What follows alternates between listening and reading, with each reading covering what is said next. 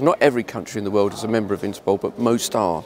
And by this outreach that we have through our General Secretariat here and our I-24-7 database, uh, it was, was, quoted in our recent conference in Lyon, the network of networks, uh, that sums it up perfectly for me. We have this vast network that we share across our network, and that enables us to reach out to law enforcement, the wider law enforcement family, so not just police, but customs, border agencies, security agencies as well, to uh, with a common cause. And the common cause uh, for my part of the world is very much about global nuclear security and the techniques and methods and uh, uh operations that we can run to support the uh, countering uh, nuclear smuggling activity and to ensure uh, global nuclear security. We have about 120 of the 190 member countries are here at the moment.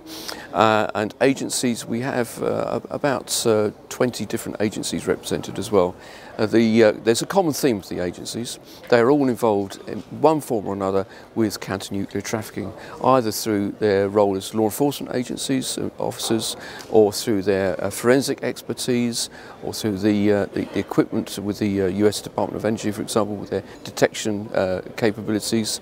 Uh, but we also have experts in the field of uh, uh, police military liaison and uh, covert surveillance, uh, the whole raft of uh, law enforcement activities you would expect to be bringing to a conference like this, where if you're going to be promoting the importance of countering the activities of nuclear traffickers. We also have had the benefit of a number of case studies uh, from a, few countries that have suffered uh, a, a, lot of, and I mean a lot, of uh, incidents of trafficking of nuclear and other radioactive material over the last decade.